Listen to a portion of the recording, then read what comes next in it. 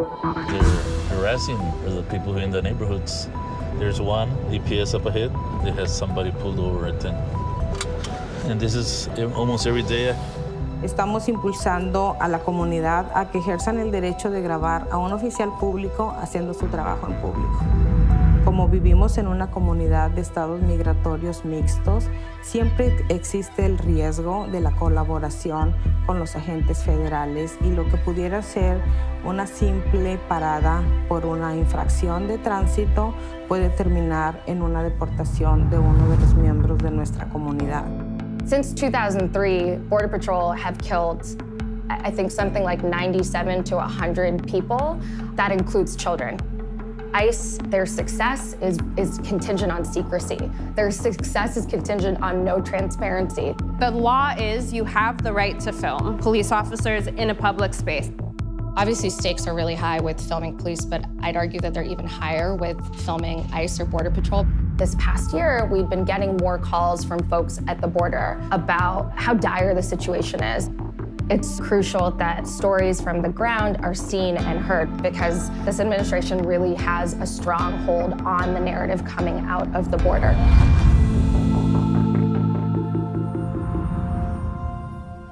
Democrats in Congress have refused to acknowledge the crisis, and they have refused to provide our brave border agents with the tools they desperately need to protect our families and our nation.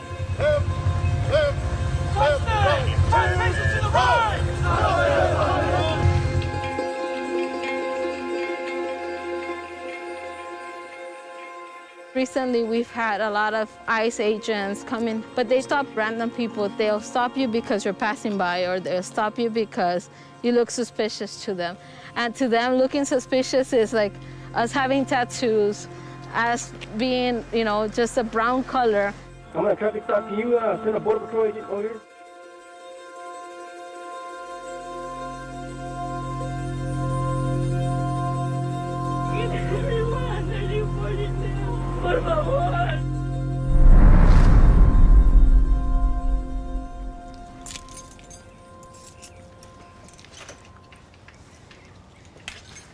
Y actualmente como organizadora estoy entrenando a la comunidad con una aplicación que la Unión Americana por las Libertades Civiles está ofreciendo como una herramienta para grabar las interacciones que la comunidad está pasando con las agencias de ley. I live here all my life, never lived somewhere else, and I've seen a lot of changes, especially with the wall, Border Patrol. They're stopping everybody they can with a little infraction. Sometimes they're not true. I take my daughter to school every morning. That's where I see a lot of stops. Entonces, nos han estado militarizando gradualmente, poco a poco, al grado de que la comunidad asume que es necesario tener tantos agentes patrullándonos. MigraCam en notificar a tres personas que haya ah, previamente establecido en la aplicación y un video en donde está sucediendo la interacción con la policía. Entonces la finalidad de la MigraCam es darle herramientas a la comunidad en estar preparados y saber cómo apoyar a las personas que en ese momento pueden estar en riesgo de ser eh, arrestadas o referidas con la patrulla fronteriza. Personas han sido asesinadas por agencias de ley y han sido expuestas eh, los, en los medios sociales.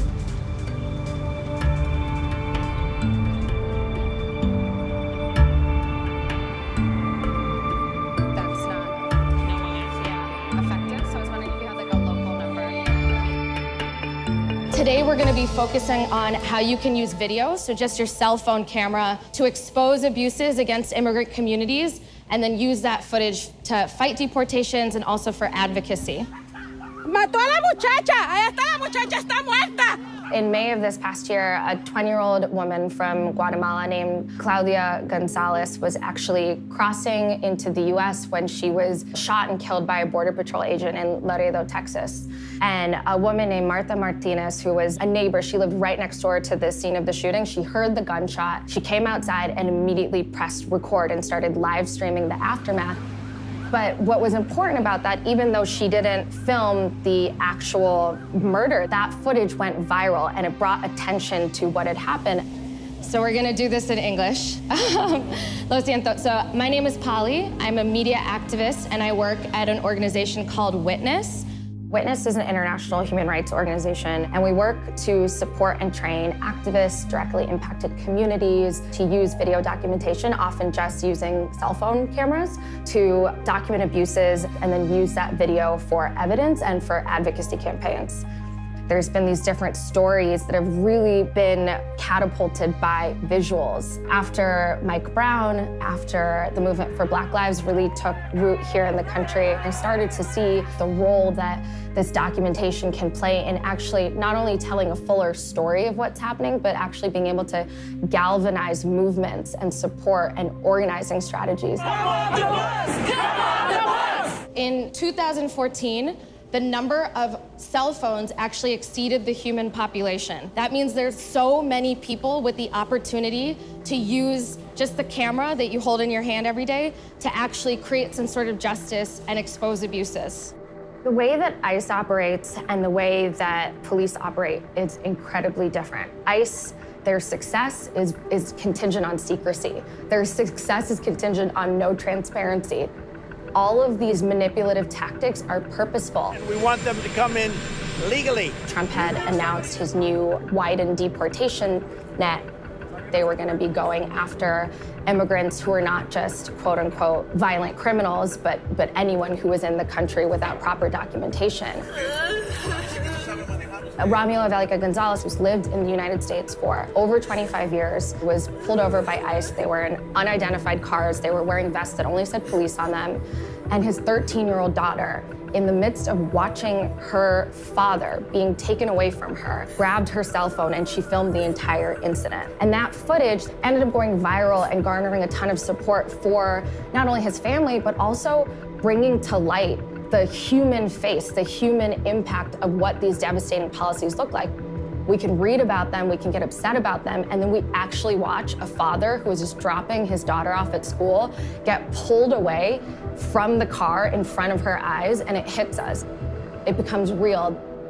Because of that footage, they were actually able to get Romulo out of detention, and he's back with his family for now. Since 2003, Border Patrol have killed something like 97 to 100 people. That includes children who have been shot and killed or just killed by Border Patrol. It's essentially like a military occupying force in these communities. These are people who are fleeing situations of political, economic unrest. They're just looking for a better life for themselves and for their community and for their children. There's one EPS up ahead. It has somebody pulled over, I think.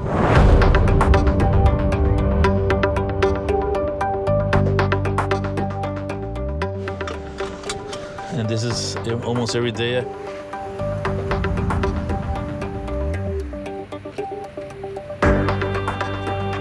Estamos impulsando a la comunidad a que ejerzan el derecho de grabar a un oficial público haciendo su trabajo en público. Como vivimos en una comunidad de estados migratorios mixtos, siempre existe el riesgo de la colaboración con los agentes federales y lo que pudiera ser una simple parada por una infracción de tránsito puede terminar en una deportación de uno de los miembros de nuestra comunidad. Otro. Yeah. Teenagers. Teenagers. Un milagro que no ha llegado por patrón, porque siempre llegan atrás de ellos. Nuestra comunidad no está acostumbrada a filmar a los agentes de ley haciendo su trabajo. Asumen que no deberían de hacerlo. Entonces, parte de mi trabajo es eh, informarles que es un derecho constitucional, que son agentes públicos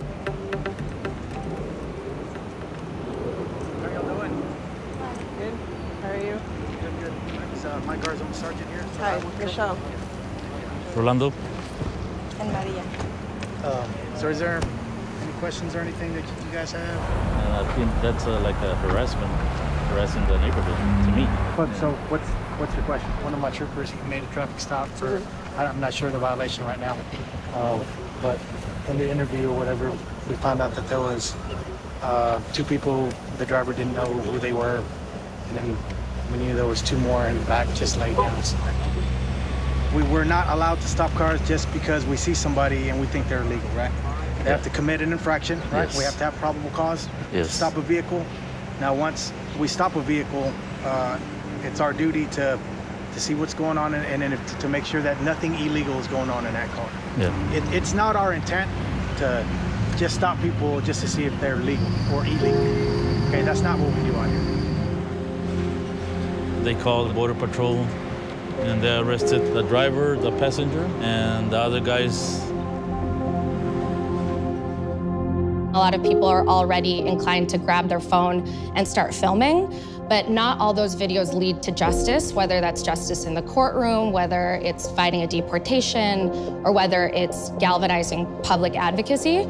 And so that's why we do these trainings to help ensure that what you are filming is actually leading to some impact. I think that we are a society that our empathy sometimes is contingent on human faces, on human voices. Best case scenario would be to try to get that footage to the family of the person who you documented. If you don't have secure immigration status, that might be a reason why you don't want to put yourself in a situation where you are interacting with a police officer or border patrol agent.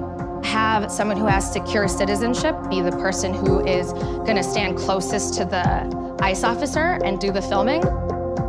In order to paint a full story of what's actually happening at the border, these stories from these organizers and these communities need to be heard. We can't advocate for inclusive policy. We can't advocate against inhumane racist policy unless there is a clear picture of what's happening at the border. And without visual and audio documentation, we would have no idea what's happening.